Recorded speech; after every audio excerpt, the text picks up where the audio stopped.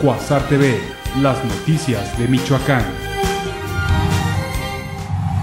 Alfredo Castillo, comisionado para la Seguridad y Desarrollo Integral de Michoacán, destacó el acuerdo que se alcanzó con los grupos de autodefensa, primer paso contundente para que la estrategia de seguridad y desarrollo funcione y Michoacán regrese a la normalidad. En los últimos días tuvimos reuniones eh, con ellos muy extensas en donde estuvimos trabajando todos los puntos, las preocupaciones, viendo sus causas y en ese sentido fuimos construyendo un acuerdo que el día de hoy ya lo pudimos firmar y que como te acaba de, de mencionar es el referente para poder trabajar de manera conjunta y coordinada de aquí en adelante informó que uno de los acuerdos del encuentro en Tepalcatepec es sumarlos a las corporaciones institucionales para el logro de la legalidad y la reinstauración del Estado de Derecho.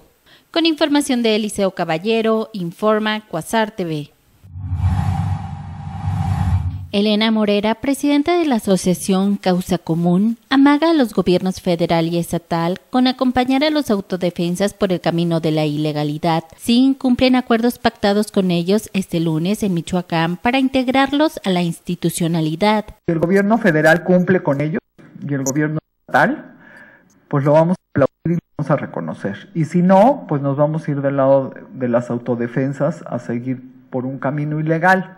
En rueda de prensa conjunta con el comisionado federal Alfredo Castillo, Elena Morera dijo que su organización fungió como testigo en este acuerdo firmado en Tepalcatepec, porque reconoce en los integrantes de los grupos de autodefensa una lucha real que surgió por la inseguridad. Con información de Sandra Sáenz, informa Quasar TV. Alrededor de 250 miembros de los grupos de autodefensa avanzaron e ingresaron esta tarde a la cabecera municipal de Los Reyes, donde solicitaron el respaldo de habitantes y comunidades cercanas para asumir el control de la seguridad. De manera discreta, las primeras unidades arribaron a la cabecera municipal de Los Reyes, mientras que el contingente más numeroso con hombres y mujeres de Tancítaro, Buenavista Tomatlán y Apatzingán se preparaban para concretar la incursión. Alrededor de la una de la tarde, hombres y mujeres armados avanzaron en caravana procedentes del entronque de Peribán hacia Los Reyes a bordo de unas 40 camionetas blindadas. Con información de Sandra Sáenz, informa Quasar TV.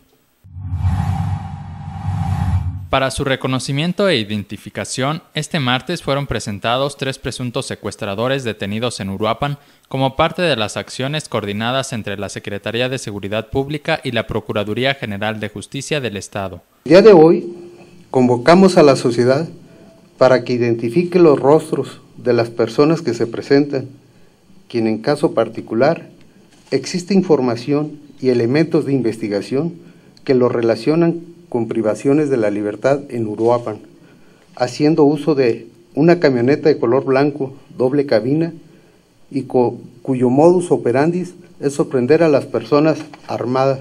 El encargado del despacho de la Procuraduría General de Justicia dijo que para combatir estos delitos de alto impacto como el secuestro se requiere de la cultura de la denuncia. Para Cuasar TV, José Guadalupe Rodríguez.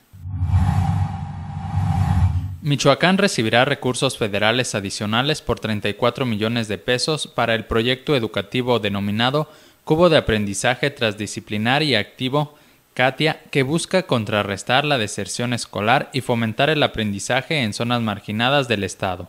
El Estado de Michoacán ha sido favorecido con un proyecto integral de aprendizaje que se presenta como un elemento de innovación para contrarrestar tanto el índice de deserción como el aprendizaje. Y eso para nosotros es muy importante porque son 34 millones de pesos adicionales que llegan al Estado. Será dirigido a municipios como Susupuato, Tiquicheo, Tuzantla, Sitio, Carapan, Nahuatzen, Nocupétaro, Turicato, Carácuaro, Huetamo, Villamadero, San Lucas, Aquila, Tumbiscatío, Chinicuila, Churumuco y La Huacana.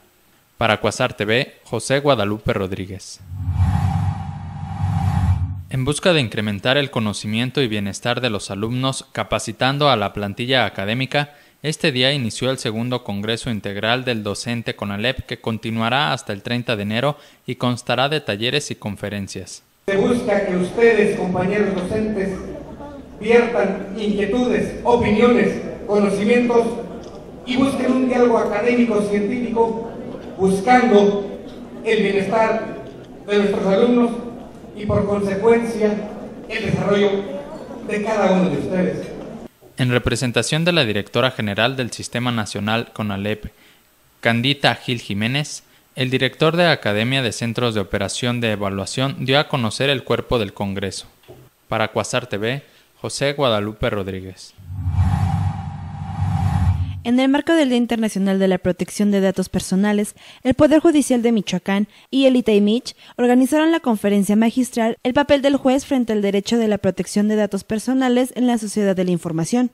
En representación del magistrado presidente Juan Antonio Magaña de la Mora, Citrali Fernández González destacó el arma de doble filo que puede ser la tecnología.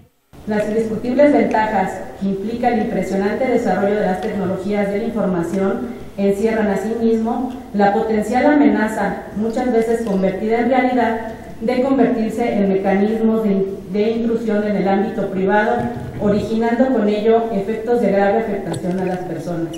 Por su parte, la ponente y consejera del ITAIMICH, Irma Nova Valencia Vargas, resaltó que los datos personales son todos aquellos que identifican o hacen identificable a una persona y que de ser conocidos públicamente pueden generar grandes daños al derecho a la privacidad y a la intimidad. Con información de José Guadalupe Rodríguez, informa Cuasar TV.